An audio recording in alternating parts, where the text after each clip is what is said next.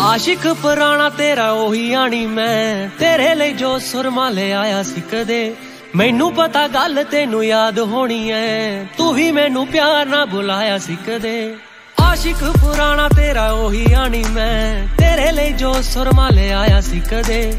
ਮੈਨੂੰ ਪਤਾ ਗੱਲ ਤੈਨੂੰ ਯਾਦ ਹੋਣੀ ਐ। ਤੂੰ ਵੀ ਮੈਨੂੰ ਪਿਆਰ ਨਾਲ ਬੁਲਾਇਆ ਸੀ ਕਦੇ। ਸੱਪਲੀਆਂ ਵੱਧ ਗਈਆਂ ਤੇਰੇ ਕਰਕੇ।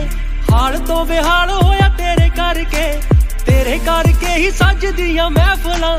ਰਾਂਝਾ ਮਹੀਵਾਲ ਹੋਇਆ ਤੇਰੇ ਕਰਕੇ। ਉਹ ਲੜਿਆ ਨੂੰ ਜਦੋਂ ਖਾਸੀ ਦੇਰ ਹੋ ਗਈ, ਲਾਇਬ੍ਰੇਰੀ ਵਿੱਚ ਸੀ ਮਾਈਕ ਲੱਗਿਆ।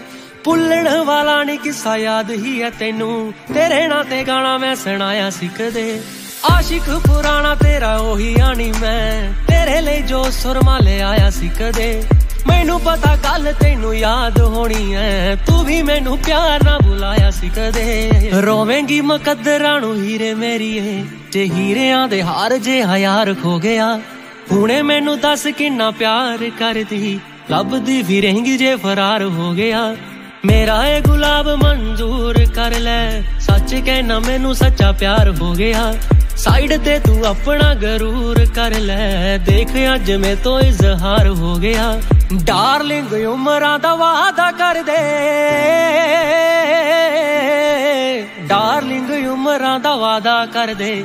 ਟੈਂਪਰੇਰੀ ਪਿਆਰ ਬੜੀ ਵਾਰ ਹੋ ਗਿਆ। ਰੋਵੇਂਗੀ ਮੁਕੱਦਰਾਂ ਨੂੰ ਹੀਰੇ ਮੇਰੀਏ ਜੇ ਹੀਰਿਆਂ ਦੇ ਹਾਰ ਜੇ ਹਯਾਰ ਖੋ ਗਿਆ।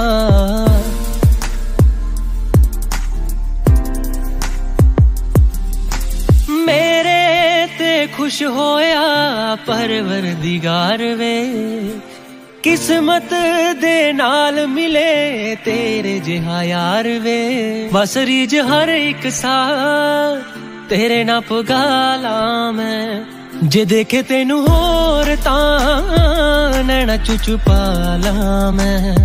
ਵੇ ਹੋਵੇਂ ਨਾ ਨਾਰਾਜ਼ ਤੂੰ, ਗੱਲ ਨਾਲ ਲਾਲਾ ਮੈਂ। ਵੇ ਹੋਵੇਂ ਨਾ ਨਾਰਾਜ਼ ਤੂੰ, ਗੱਲ ਨਾਲ ਲਾਲਾ ਮੈਂ।